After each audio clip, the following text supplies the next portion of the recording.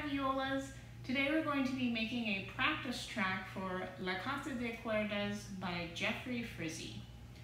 So one thing that is different about your part than all the other parts in the orchestra is you are the only instrument in the orchestra that does not play pizzicato. You're the only instrument that plays with the bow the entire time.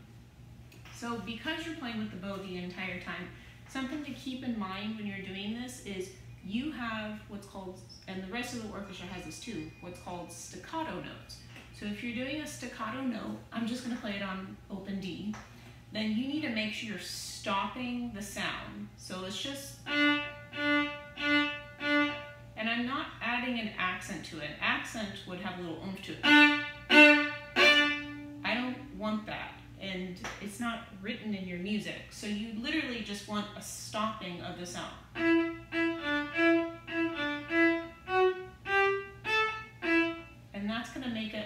Bit more short.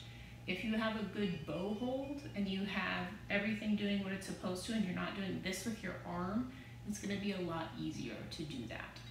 Um, the other thing that you should keep in mind is that you need to do the dynamics, especially since you're using the bow the entire time. You have the melody at the beginning and then you have it again at 21.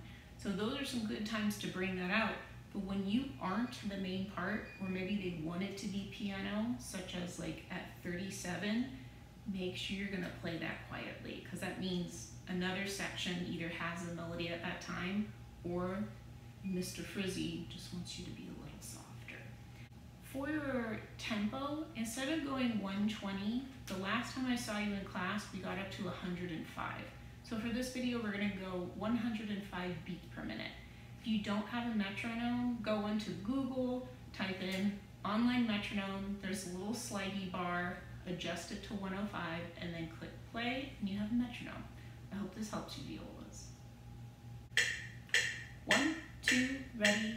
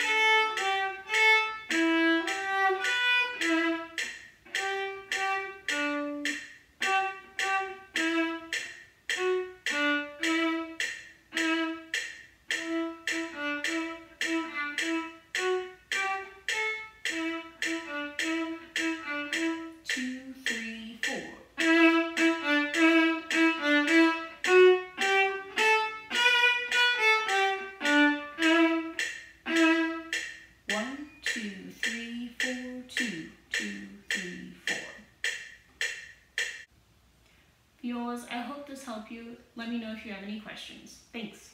Bye.